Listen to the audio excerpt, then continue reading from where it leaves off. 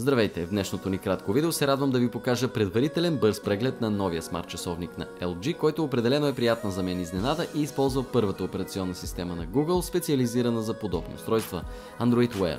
Дизайнът на часовника е много по-класически и далеч повече прилича на стилен часовник от видяното от Samsung до момента да кажем. Motorola също се очаква да се включат успешно в тази надпревара с техния Motorola 360.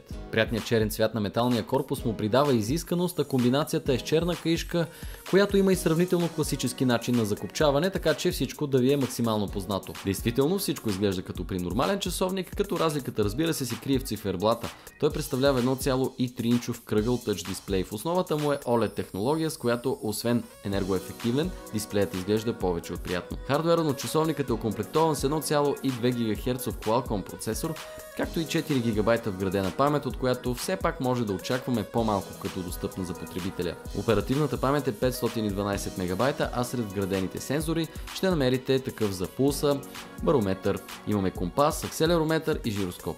Задната част пък се прилепва симпатично зарядно, което се зарежда с микро USB порт и очевидно ще трябва да носите със себе си при дълги пътувания. Поддържане IP67 стандарт за водоустойчивост, който не е за пренебрегване, а теглото на часовника е едва 62 грама. Най-интересното за мен обаче е операционната система, която поне в България виждаме за пръв път и определено има какво да предложи със своята далеч по-добра организираност и подреденост. Най-хубавото случай е, че от нея може да очакваме прилична синхронизация с другите ни Android устройства, каквато е и идеята на подобен софтуер, разбира се. Честно казано, забелязах лек лак в работата с някои от менютата, но не очаквам това да развали драматично впечатленията ми от часовника, защото все пак той не е проектиран за непрекъсната работа и това ми се струва до някъде допустимо. Очаквайте повече за него в нашия нюс портал, а аз очаквам с нетърпение и появата на конкурента му Motorola 360.